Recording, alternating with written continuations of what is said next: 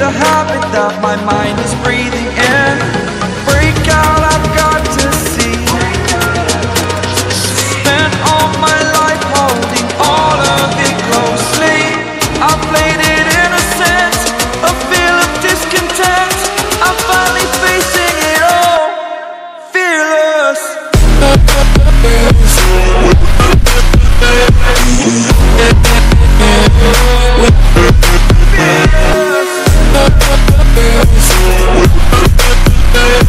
you.